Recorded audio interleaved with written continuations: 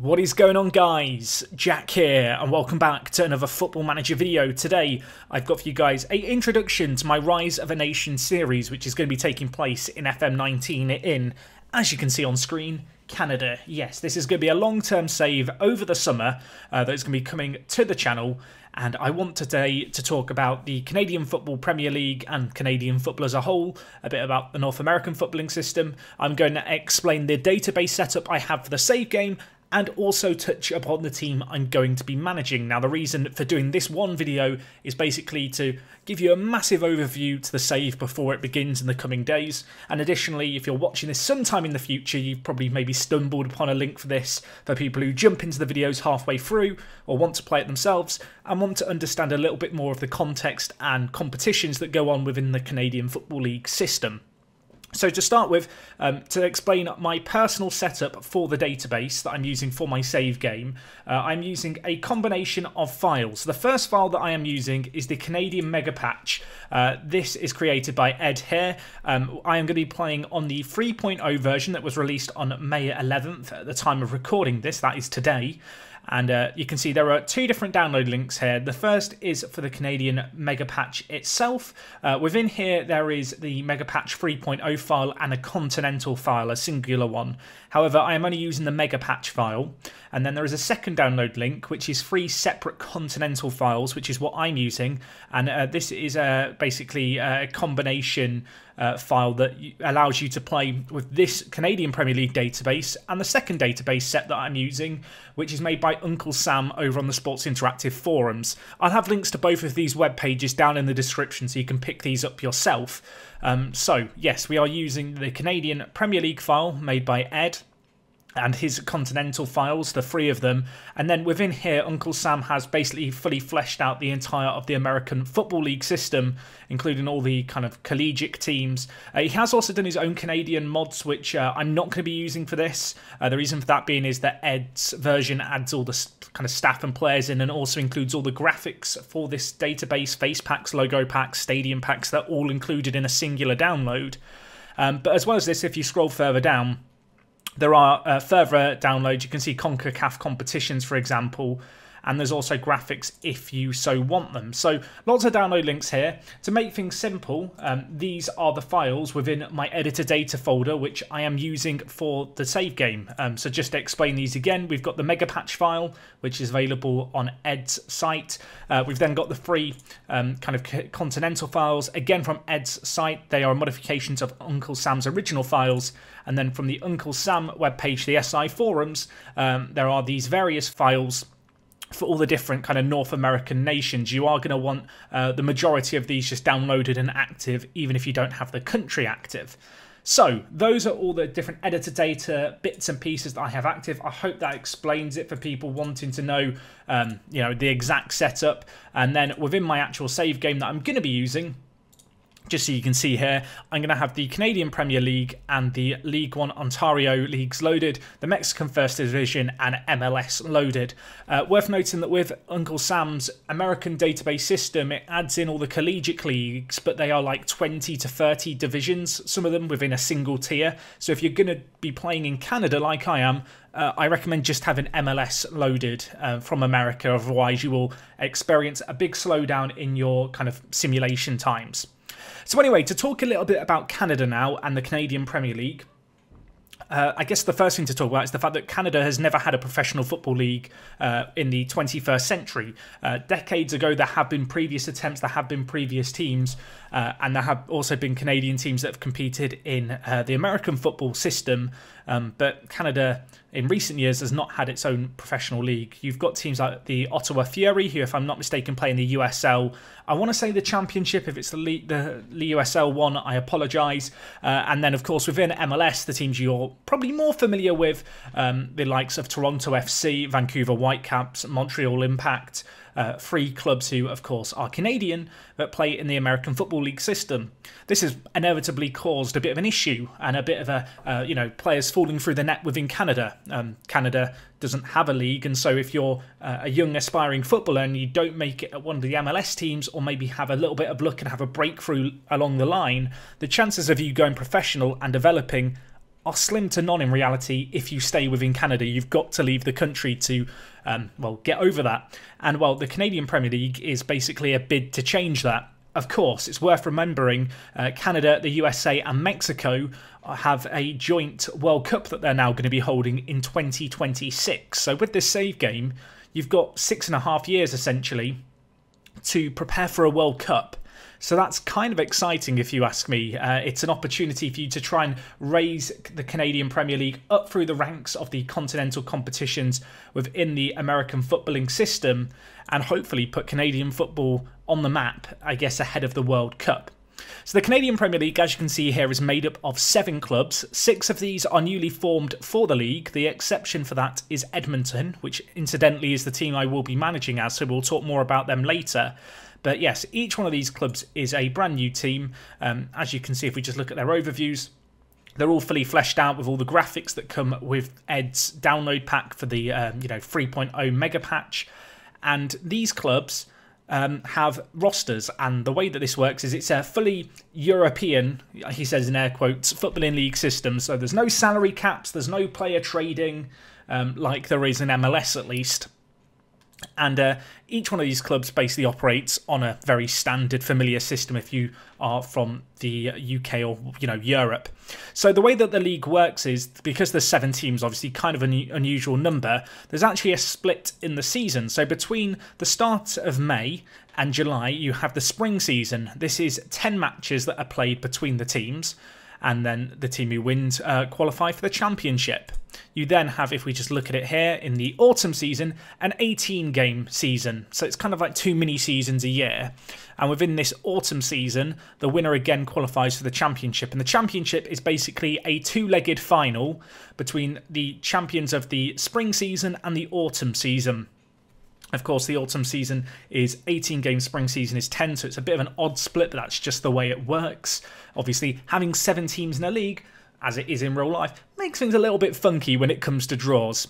So, what makes this league unique? Well, there is a big emphasis on Canadian youth development. You are not allowed more than five foreign players in the starting 11. Your squad is allowed seven foreign players to be registered, and your maximum squad size is 23 players. Now, the league hasn't been too transparent on rules in terms of if you have injury crises, because, well, 23 players is not a lot of players in a squad. That is basically what you see here. If we just look at Cavalry, they've got 22 players. But this kind of squad, for what is a fairly intense schedule, is is tricky. If we just look at it here, you can see the Canadian uh, football system is intense. The games come thick and fast. So, um, because the rules haven't been fully disclosed for that, um, the way it works in this database is players who are 18 or younger at the start of the calendar year, so on January 1st, don't have to be registered, and uh, as a result, you have free reign to play your youth players and young players in the competition. Of course, with this league being all about developing domestic young players, it very much plays into that philosophy. So that's the Canadian Premier League. The other big cup competition you might have noticed here is the Canadian Championship. Now, this is a very, very unique competition um, in the sense that it pits the three MLS sides uh, who are Canadian, the Montreal Impact, Vancouver Whitecaps, and Toronto FC, as well as Ottawa Fury, who play in the American footballing system, against the Canadian Premier League teams, and there are a few other teams thrown in there as well. But this is essentially a bit like the domestic competition. In order to win this as a Canadian Premier League team, you will have, have to have beaten an MLS side. So a big focus of the save game and the challenge in Canada is going to be trying to put those MLS sides in their place. And that's going to take a lot of years to do. You're going to have to grow up the league. Um, but if you can achieve that and win this competition, you will secure a spot in the North American Champions League. So let's talk about the North American Champions League because it is kind of unique. Uh, so within North America, there are two continental competitions the North American League and the North American Champions League. Now, the North American Champions League has four spots for American sides, four spots for Mexican sides, and then there is a qualifier called the North American League, uh, in which I believe it's the top six clubs qualify for the Champions League. And the North American League, the other competition, is a bit like the Europa League. So you might wonder how does that work? So let's talk about the North American League first, actually, before we talk about the um, about the uh, North American Champions League. So the North American uh, League, if we just look at it here, um, is a competition that's held basically between all North American sides that aren't in Mexico uh, or the USA. And it's a big kind of head to head thing if we just look at all the different rounds. Uh, so you have a preliminary round where some teams do get byes. There is then a first round, a quarter final, a semi final, and a final the teams that make it to the semi-final and the teams that make it to the final, obviously the same team. So these four teams here all will go into the North American Champions League uh, the following season, and then the losers of the quarterfinals will play against each other in a qualifying round, and the two winners of this competition, this round, make it through as well to the North American Champions League.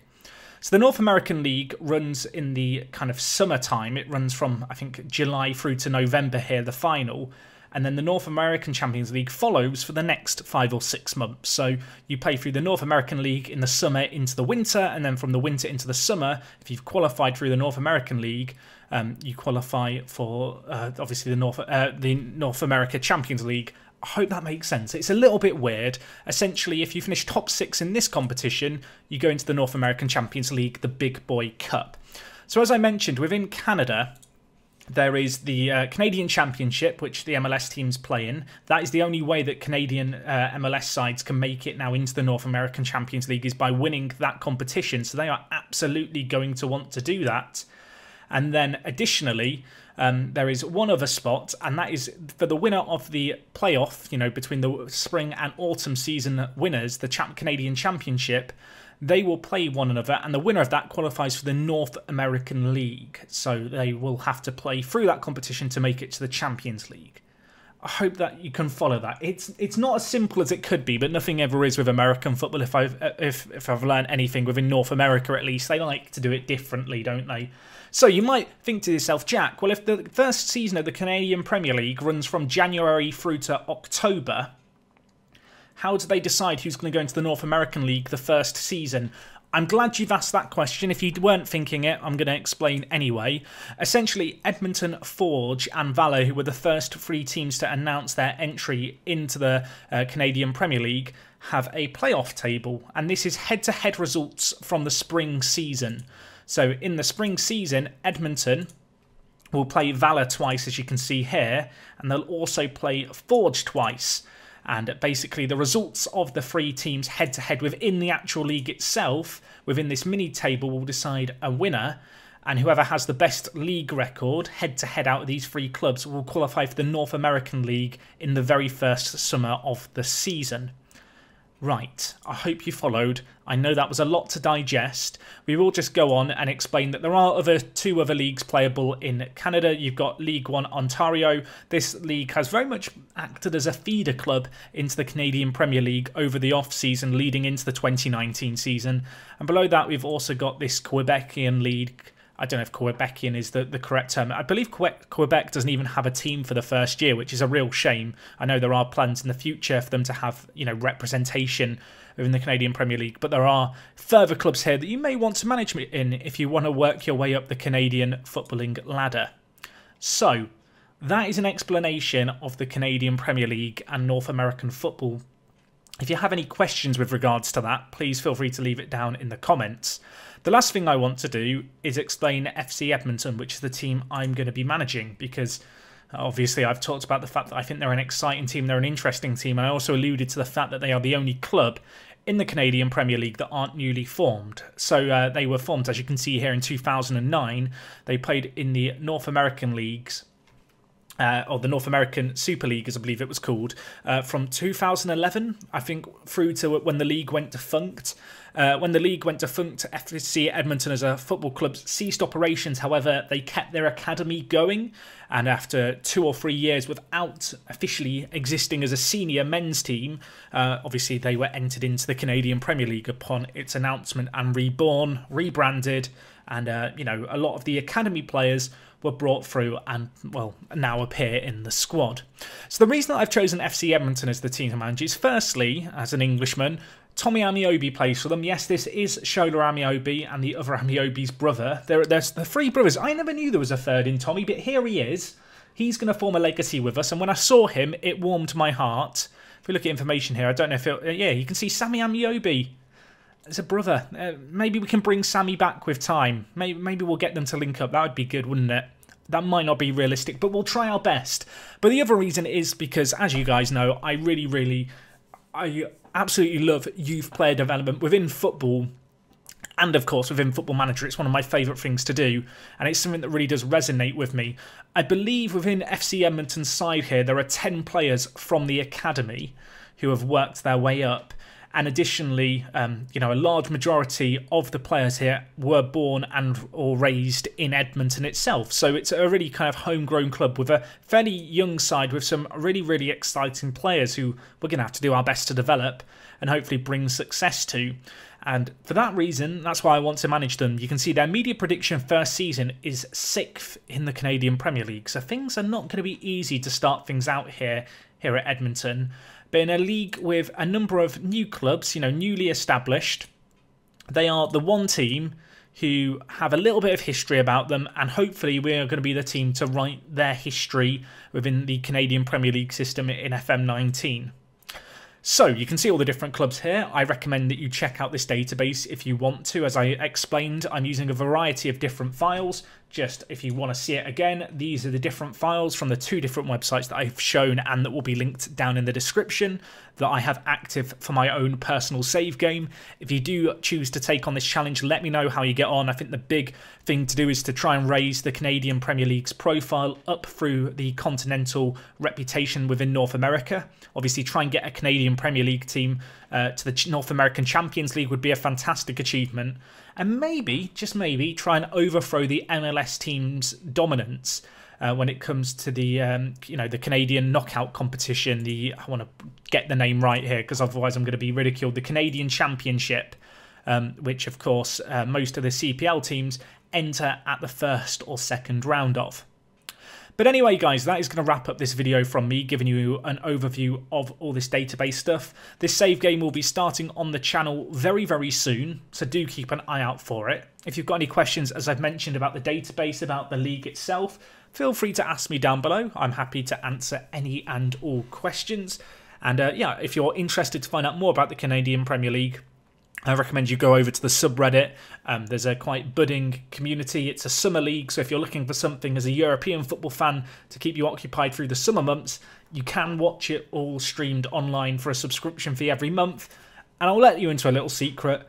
I've already done that, and I've actually found it highly entertaining to watch because in a new league, where no one knows who the good and bad teams are, no one wants to defend, no one has no any respect for one another. They all just go for each other's throats and it makes for really entertaining football. But anyway, folks, that's going to be all from me today. If you are excited for this series, do drop a like on this video and let me know in the comments. Of course, if this series is going to be something that you like and maybe you're new here for whatever reason, do make sure to subscribe. You'll get notified, of course, when this series starts on the channel. And well, other than that, it is me, Jack, and I will talk to you guys in a bit. I'm out.